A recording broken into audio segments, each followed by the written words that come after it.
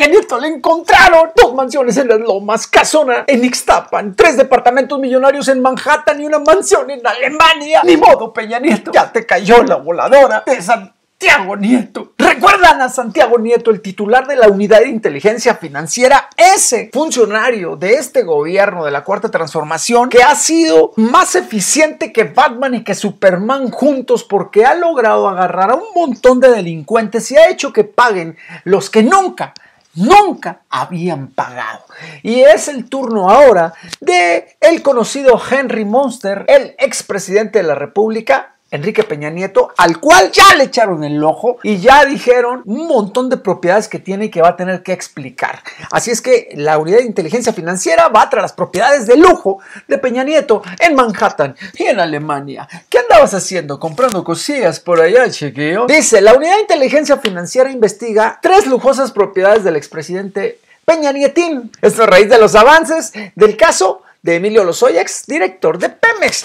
Luego de la citación del ex senador panista Jorge Luis Valle Mauri, se dieron avances importantes en el caso Lozoya, a tal grado que esto podría dar eh, eh, pruebas suficientes a la unidad de inteligencia financiera para ir tras las cosillas que se compró de lujo el expresidente Peña Nieto. Y es que del, caso de donde están todos enredados ahí en el caso Lozoya, el primer bloque de investigaciones estuvo eh, dirigido a los senadores de la reforma energética.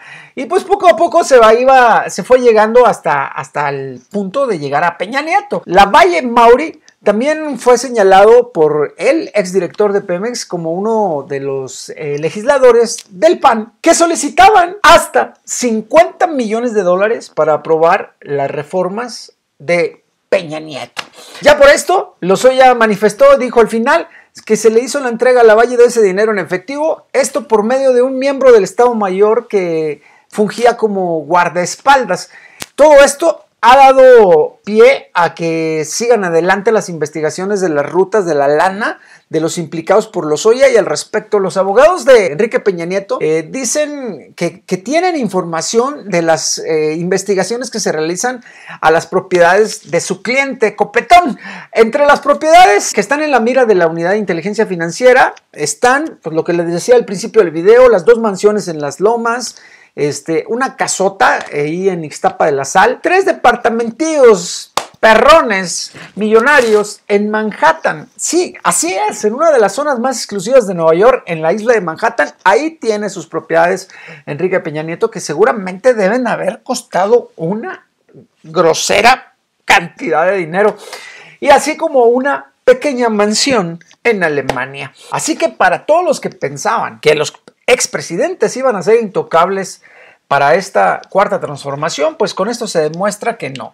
Los están llamando a declarar de dónde sacaron para comprar todas esas cosas. Enrique Peña Nieto, preocupadón, debe de estar ya bien asesorado por sus abogados, porque en cuestión de horas va a ser llamado a la justicia para que responda de dónde sacó tanto billete para comprarse esas propiedades. Porque el salario, se supone que el salario de presidente de la República no daba para tanto. Chismosido de la política, no olvides compartir este video, porque yo pongo el chisme y tú, tú, tú, toda la compartida. Para las noticias como son Wichairo y parodia política, Luis Salazar. Ya me voy.